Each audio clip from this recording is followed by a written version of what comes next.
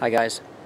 Every time one of these horrible mass shootings happens, you see talking head lawyers on cable news networks, uh, CNN, Fox News, etc., talking about how they're going to sue the gun manufacturers out of business because their guns were used in the mass killings.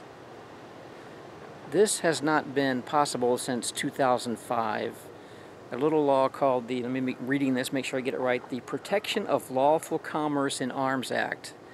Protection of Lawful Commerce in Arms Act, which was passed in 2005, makes it impossible to sue the manufacturer of a firearm if their firearms are used in a crime, with the exception of that they negligently did something to cause the crime to happen or that they knew when they sold the guns to the person who committed the crime that they were going to use the gun to commit a crime. Basically uh, negating the lawsuits entirely. It just can't be done.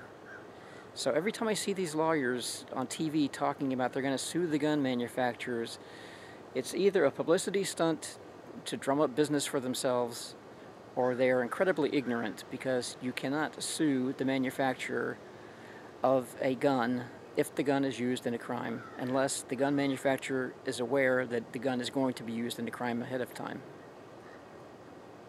Alright guys, thanks for watching. Please like, share, and subscribe.